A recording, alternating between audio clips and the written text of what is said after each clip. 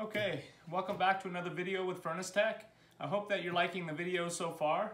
Um, if there's anything specific that you guys would like me to make a video about, um, just put it in the comments below.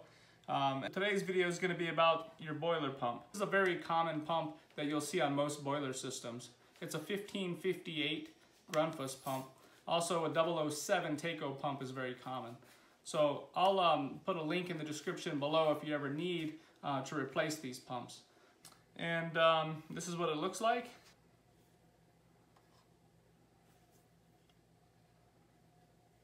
So this is a centrifugal pump, which means it has an impeller inside of the pump that as it spins, it um, pushes the fluid on the outside of the impeller. Um, so it uses a centrifugal rotating motion to make the fluid flow through the system. So in order to figure out the flow direction on a centrifugal pump, if you do not see the arrows, comes in on the bottom here, and then it goes up in the center, and then it goes into the impeller, and then it comes out through the discharge here. So on the outside of the electrical box, you're gonna see a speed selector switch. So it has a low, a medium, and a high speed. So depending on how much uh, flow you need on your system, you can set the pump up. So what's in the box when you buy one of these circulator pumps? Well, what you're gonna have is you're gonna have two gaskets, and you're also gonna have a little check valve.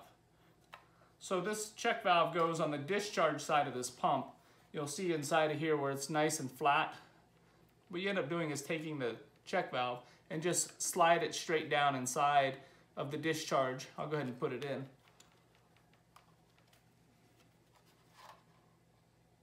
You just give it a good push. So now the check valve has been installed. Now you do not always need to have the check valve installed in your system. It just really depends um, on, on your system and the application.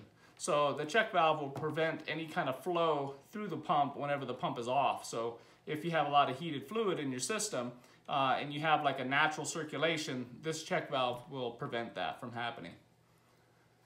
Let's go ahead and take a look inside the electrical box. This is a brand new pump, so the screws coming from the factory are not installed. They're usually inside the box.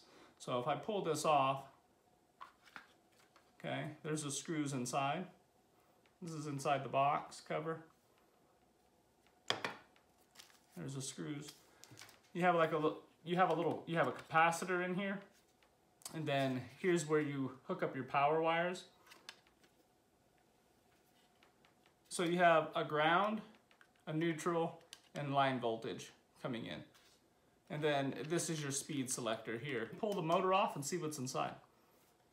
What you're gonna need is a little Allen wrench so you can take these little screws off around the outside of the motor. I'll go ahead and do that. So once I get it all pulled apart, um, I will do a close-up view uh, reassembling the motor so you can see how it goes back together. Okay, so I got the screws out, so now we're gonna go ahead and pull it apart. Sometimes it can be really tight. Um, this one here, I think is gonna come apart pretty good. There we go. So this is inside of the volute. And you can see the center here, um, the flow travels into the inlet of this volute and it comes up right here in the center underneath where this impeller is. And then as the impeller spins, it's gonna push the fluid through this little hole and it's gonna come out the discharge. So here we go, here's the impeller. So these pumps have a cartridge that actually goes inside of this motor housing. And you have a little gasket here, a little rubber gasket. You can see that. Okay, so I got it broke loose. Um, so what I did is I took a screwdriver and I put it right underneath these little tabs here. You have to be careful you don't damage the gasket. So you put it right under those tabs and then you just kind of pry it up, okay? Do it evenly, just go a little bit on each one, and then it'll pop out okay? So now, let me pull this out. Now you can see the rotor. You can see inside where the windings of the motor are, okay? Now I'll take off this little electrical box so you can see what's underneath there. Just pop this off. There we go. So here's the back. You can see where it just plugs right into the motor. And this gasket kind of came off. So now you can see the so now you can see the back here. See the little plug? It plugs right into the back of the motor. Okay. And here's a little plug on the motor side. So everything in here is pretty sealed. Um, if you look at an angle there, you can see the windings inside. Okay, so there you have it. And then here is the rotor. So the magnetic field inside of the windings on the motor uh, make this rotor here spin. And as it spins, you can see the impeller spin here. Okay, there you go. So let's go ahead and put this motor back together. So here's a look at the motor all pulled apart. So here's the motor windings.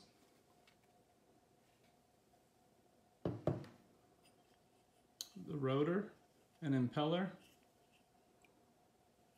The volute.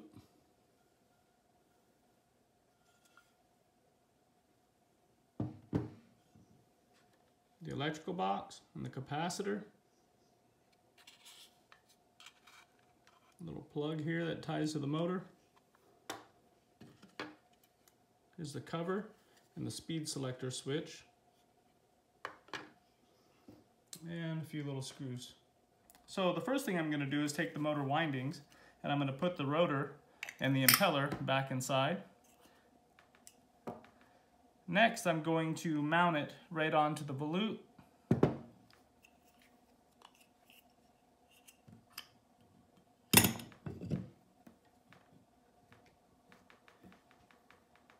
And this, this motor, the windings here can be mounted in any direction here. So if the pump was installed horizontally this way in any horizontal direction, you can just rotate to get the electrical box whichever direction you want and then you can just remount it. So in this case, I'm just gonna mount it here in this position.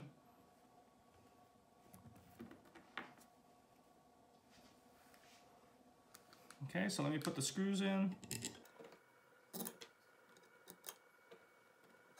Okay, you're gonna wanna get it snug and then go to the opposite side of the motor.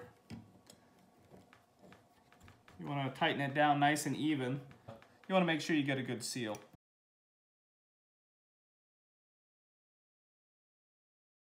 So after you get it snug, you're just gonna go ahead and tighten it down. when you tighten it, still alternate the corners. That way it pulls it in nice and straight. Okay. Next step is going to be to mount the electrical box.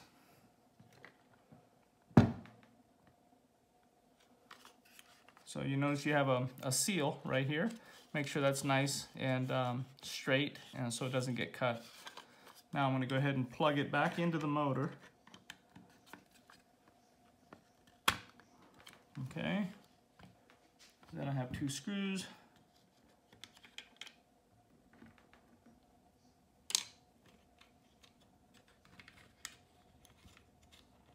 Kind of tricky. When you have big hands, it's hard to um, get into small areas.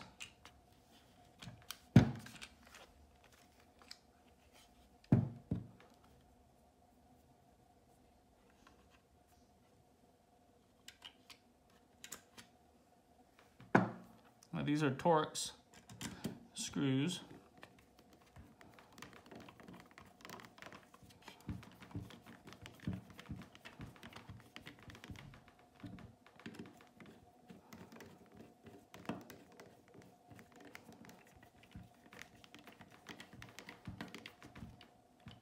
Okay, make it snug. Don't over tighten it. Okay. So then you got your electrical box. Now when you put the electrical box on, you're gonna wanna make sure that you turn this um, speed selector switch to get it lined up. Otherwise, if it's not lined up, you'll see you'll see it actually um, push up. See how it's pushed up here? You wanna just turn it until you find out where it needs to be to line it up. Okay, and then you're good to go. Now, there's two little screws that go on both sides of this little cover, but um, we're not gonna put them in because as soon as we install it, we actually need to pull this off and wire it up.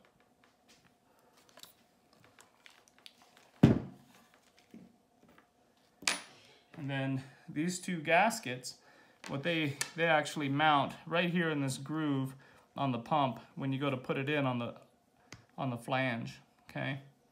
So you don't put these on until you're ready to install it. Otherwise, they'll just um, fall out. Here's a quick tip. If you're not sure if this pump is working, Grundfos makes a tool. This little tool on the back side of the pump while it's running, it will actually spin this little indicator here based on the magnetic field. So that was a close-up look inside of a boiler circulator pump. Um, don't forget to subscribe, and um, I appreciate you taking the time to watch.